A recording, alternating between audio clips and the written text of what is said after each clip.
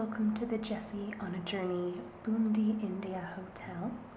We welcome you to India and our property. So, we just have um, a quick check in process and a few gifts for you, and you'll get a little tour of the room. And um, we'll go over your itinerary since I know you booked a few activities. So, um, kept a few fans on, not only to um, keep you cool in this heat, but also um, one thing maybe you've noticed about India already is that there is always honking. So, uh, just trying to block that out a bit. Unfortunately, there's no escaping it, but uh, Bundi is a, a quiet town for the most part. Um, you'll notice here um, it's much more laid back than you'll find on some of your other stops. We still have the honking, but uh, definitely a slower pace. Um, people here are very friendly, very smiley, uh, very excited to meet you and learn your story. And um, there's a lot of great attractions here. Funny enough, um, it's not quite a tourist destination, as we of course believe it should be, but we're getting there. Uh, we now have a highway that comes here, so uh, makes it a lot easier than what it used to be. Um, you know, from Jaipur, it used to take seven hours to get here, and now, uh, as you saw, it's um, just about two two hours. So let's get you checked in and get your experiences all set up, and uh, go from there. Okay, so let me just find your reservation.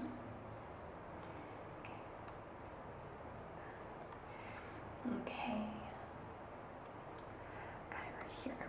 So, can um, you tell me your full name with middle initial? Okay. Best contact number, preferably one that you will have here. Do you have a phone? Actually, I can help you out with that. So for now, why don't you just give me your home number and we can sort sort that out. Okay. And best address.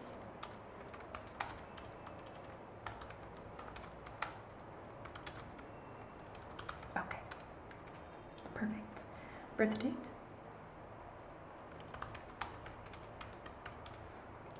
And do you have any dietary restrictions? We do have some excellent food here, so no dietary restrictions. So that'll be great. Um, and how did you hear about us? TripAdvisor, of course. Um, perfect.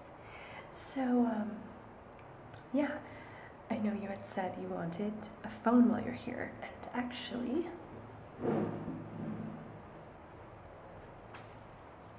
got um, Airtel SIM card. So what we will need to do is, um, in India, it is a bit of a process to get the SIM card. Well, I can give it to you, but um, basically, uh, you have to give me your passport. I'm gonna make a copy.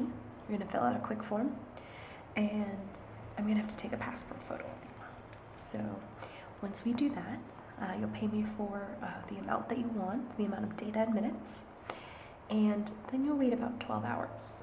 And you'll notice that you start to have signal on the phone. So then you'll call a number that I'll write in the, uh, SIM card, and um, call that number, and you will um, do the prompts. You'll wait about four hours, and your data will come. So it's just measures to keep everyone safe from all the stuff that's going on in the world right now. So let me, uh, if you want to just uh, stand back a bit, actually have a great app on this little camera right here. So just put up.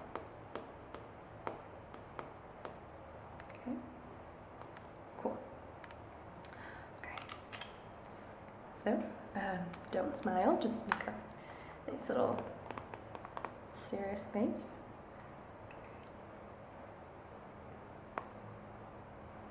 Okay, take another one just in case. Great. And do you have your passport? Perfect. So let me just make a copy here and enter in some details.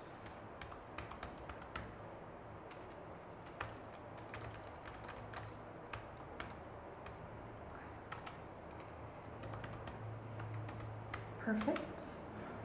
How much data did you want to put on? Okay. So that will actually be 500 rupees. Um, do you want me to charge it to the room? Okay, perfect. So if I can just have a credit card for incidentals. Okay. Thank you. Okay.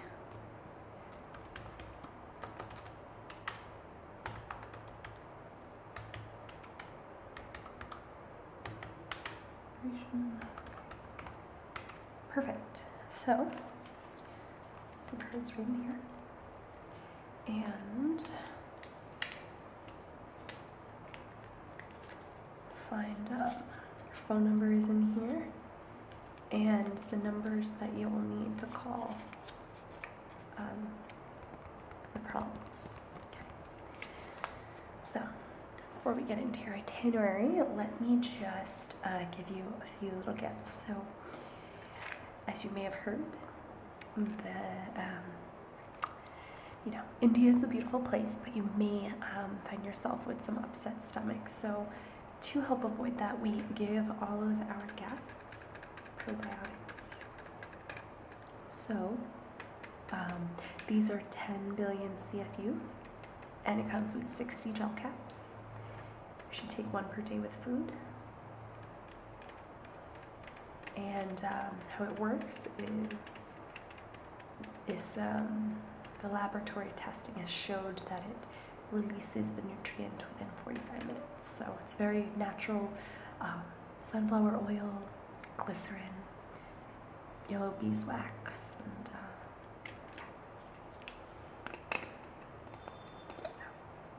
so just, it looks like this. Little pill doesn't taste bad, so. This is mine, so I'll give you a rest for sure. I'm gonna also give you tissues. Um, with some Strepsils. Um, one tip for India is that certain cities, not really in Bundi, but say when you get to Delhi, uh, it is very polluted, so you will likely be coughing up some stuff, sneezing. And we will also supply you, of course, with plenty of fresh water. All water is included in your stay. We recommend that you stay very hydrated. Um, it's very easy to become dehydrated in India. So, we also wanted to give you an actual little gift. Um, so, this is actually from Varanasi, which you'll go to on your third stop. Varanasi is known for silk. Um, and you'll find lots of beautiful scarves there. India and as a whole has so many beautiful prints, um, garments, colorful garments in um, the state of Rajasthan.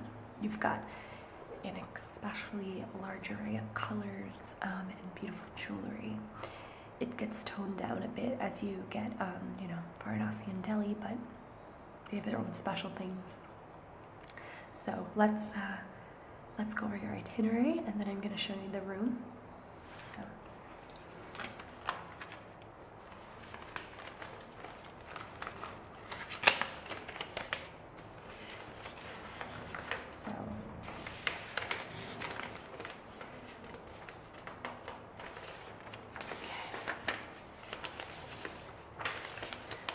So, we're going to be doing um, a very kind of laid back style tour. Um, I know the guide personally.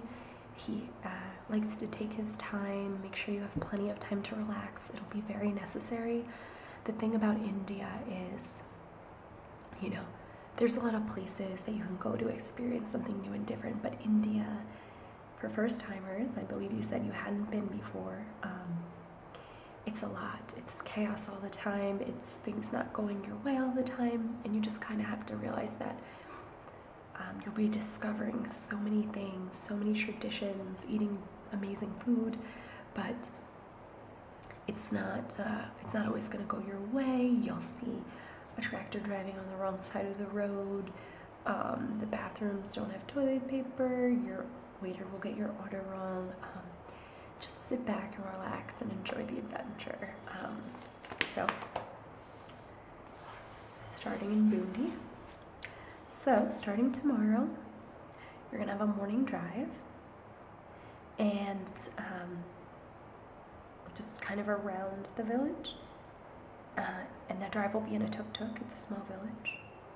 And uh, it'll take you around the historic old city, which is very wonderful to look at, great views, bring your camera, um, lots to see. So um, I also saw that tonight you wanted to have a private dinner on the rooftop, right? Okay, perfect. Let me just get that situated for you. And let's look at the reservation book here.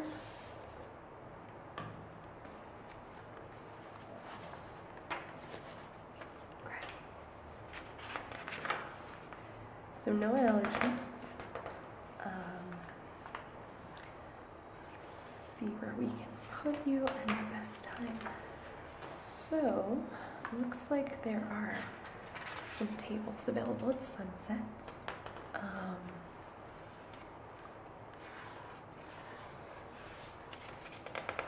okay. Would um, a 5:30 seating be okay? Okay. Perfect. So, um, have a great table with a great view for you, and. Um, I'm going to make a special little note. Uh, we actually serve alcohol here. That's something you won't find in a lot of places. Do you like champagne? Okay. So I've got your table booked. Now, let's talk menu.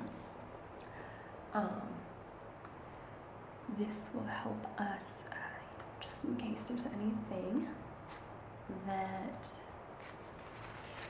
needs to be slow cooked. So we have the um, see what's on the menu. Okay. So we've got the biryani, which is this aromatic rice dish. Um, you can get it um, with chicken in it, um, with uh, mutton, and it's got a nice saffron flavor. That's a, our specialty. So also on the menu for tonight, we've got aloo gobi. It's um, a cauliflower with potatoes that is um, sauteed with a masala sauce, and you'll have some curry leaves. We've got the butter chicken, which everyone loves. It's chicken.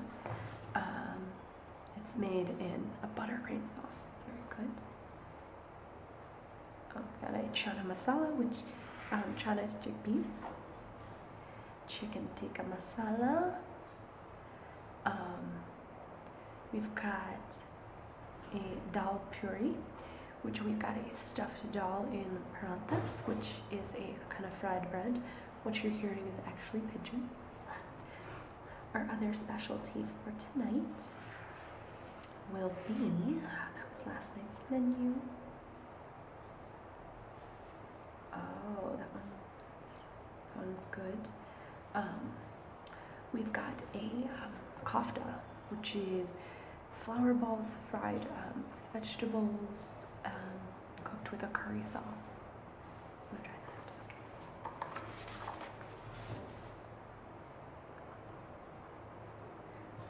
We do have tandoori chicken, yes. Those are the specials that. I want. Oh, you want some? Chicken. Do you want the full or the half? I recommend getting that with some rice. Perfect. Okay, you're all set. Um, did you want to book a um, massage for the morning? I had heard that as well. So we actually have a special.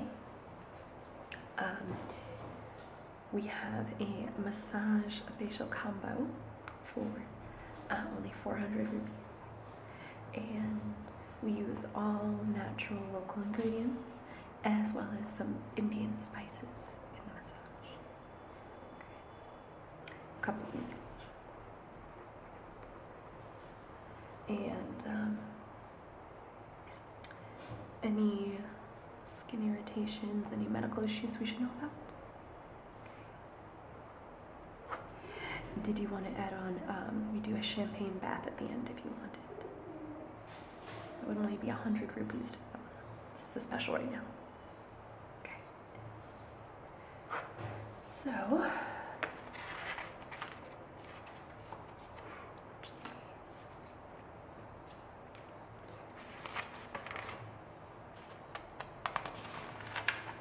Female or male masseuse? Okay. So, how does uh, 10:30 a.m. You can have breakfast on the rooftop and then go down for the massage. Perfect. Okay. Lovely. Okay. So we'll do that and then we'll do the drive. So um, the two main attractions here are the um, Bundi Palace and the Bundi Fort. Historic places, great architecture, um, a little bit of hiking, so you'll get some uh, activity in. Perfect. Um, great. Uh, so then you're going to be going to Jaipur, which you saw the airport, but uh, there's a great attraction around there called the Abhaneri Stepwell. Uh, I don't want to give too much away, but it's in this tiny little town that you would never expect this amazing kind of excavation to have been unfolded. So we've built that for you. Um, we also have a great dinner planned for you. There is a rooftop restaurant called the Peacock, uh, so you'll have dinner and drinks up there. In Agra, next night, you'll have the uh, Taj Mahal, of course. Um, next stop will be Varanasi, and this is a very special place. As I said, they're known for the silk, so of course shopping, but um, there's also a lot of history. It's one of the world's oldest continuously inhabited cities, and um, you're right on the Ganges River or the Ganga, and people, um, Hindu pilgrims actually go there to jump in the river and wash away their sins, and also burn um, their dead to sprinkle their ashes in the river, which does sound funny to Westerners, but um, it's tradition, and you'll be able to see it if that's something you're interested in. You'll have a walking tour there through the old city. Um, you'll see, um, see, we got a, uh, a sunrise boat cruise on the Ganges for you. Definitely bring your camera. Um, you'll be able to see the evening puja ceremony, which is um, kind of a, a ceremony to certain gods and also fire. Uh, they worship the fire that they burn their dead with. So um, there you'll visit all the ghats. These are stairs leading from kind of the walkway down to the Ganges, many with uh, temples behind them and old palaces. It's sort of um, a historic, beautiful city that's rough around the edges, but it's a very interesting place to visit. Um, we've got a uh, santoor concert lined up for you too, so you can see some traditional music and dancing, which is always uh, interesting.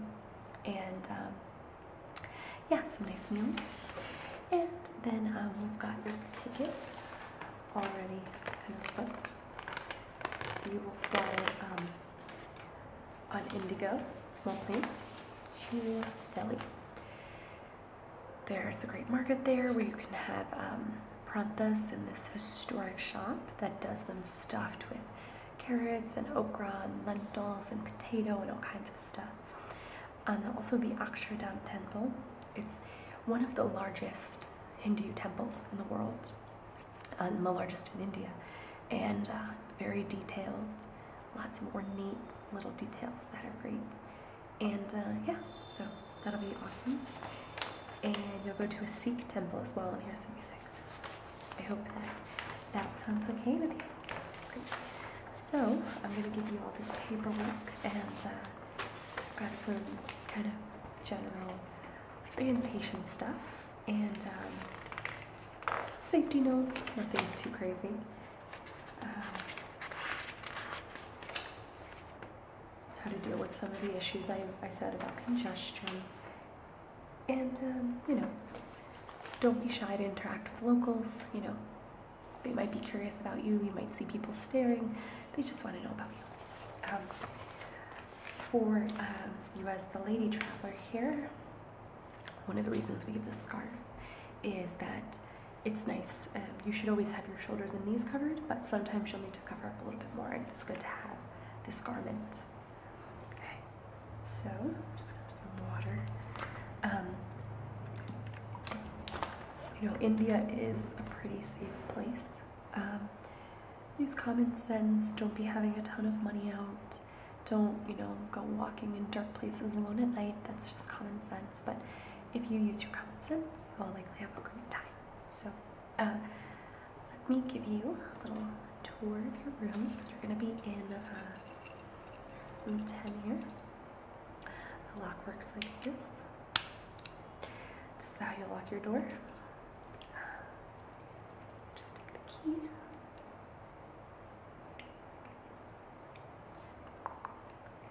Hard to do. There we go. Put the, the key in and twist, and it will pop right out. So we'll take that. All right, let's show you around. So here's our first uh, stop. This will be your room. Uh, two beds, um, but we can attach them together if you'd rather have a large bed um, for the two of you. And as I said, we do provide water and there is coffee. So the beds are very comfortable. Um, let me just show you how soft it is.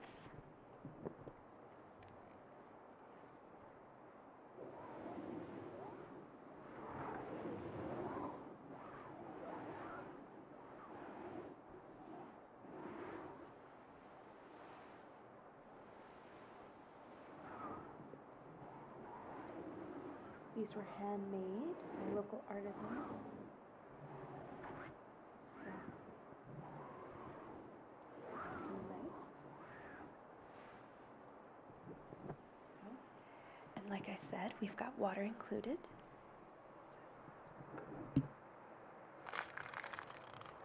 Just have to uh, remove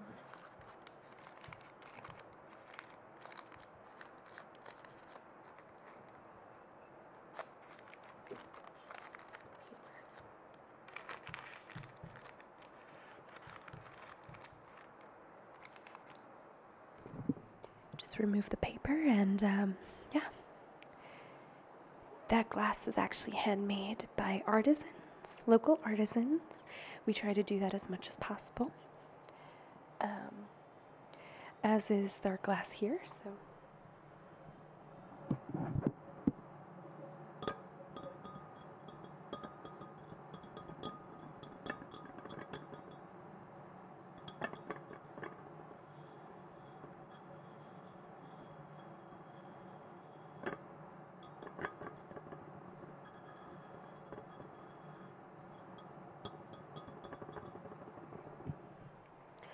Now we do have AC, which maybe you hear a bit in the background.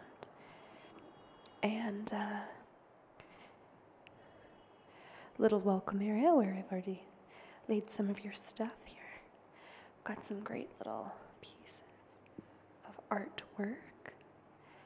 And now the bathroom.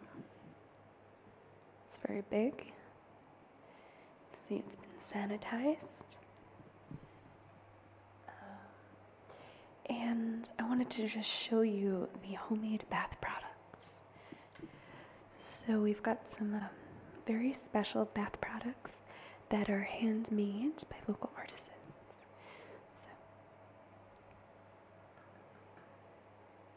So this is um, our shower gel. It's actually made with real lemon. It's natural. Next, we've got a moisturizer. Now, uh, you'll find a lot of rose here, so